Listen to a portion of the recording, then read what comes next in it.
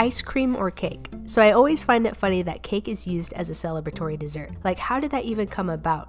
Growing up, the only time we ever ate cake was for birthdays, and usually it would be a pretty big celebration with a bunch of cousins, and we'd almost always get an ice cream cake. Also, this is completely a side note, but you see these chocolate crunchies in the ice cream cake? I was freaking in love with them. When I used to ride on the bus home from school, we would pass some farmland, and there were rows and rows of dirt, and they looked just like these, and I just imagined in my kid head how awesome it would be just to eat spoonfuls of it. But back to the question, I'm an avid lover of both ice cream and cake, but ice cream wins every single time. I can eat it in the hot, hot summer, or even when it's a snowy blizzard outside. Nothing can stop me from my ice cream. Cake, I'll only eat if it's offered to me, but I go out of my way to get ice cream. Also, please no one tell my nephew that I just ate a quarter of his birthday ice cream cake. Just kidding, it's no one's birthday, I just got this cake because I was craving it.